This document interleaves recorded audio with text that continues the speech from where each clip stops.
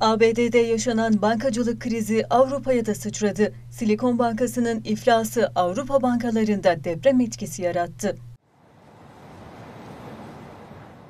İsviçre Merkezli Yatırım Bankası Credit Suisse'in en büyük yatırımcısı Suudi National Bank'ın bankaya daha fazla destek vermeyeceğini açıklamasının ardından bankanın hisseleri gün içinde %30 değer kaybetti. İlk kez 2 İsveç frankının altına düştü ve 1,56 İsviçre frankı düzeyine geriledi.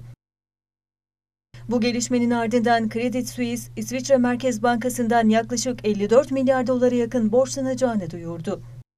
Avrupa bankalarında toplam erime 120 milyar doları aştı.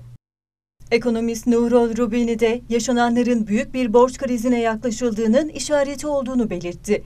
Kıyım yeni başladı ifadelerini kullandı. Rubini, Credit Suisse bir şey olursa bu sadece Avrupa'yı değil tüm küresel finans sistemini etkiler dedi.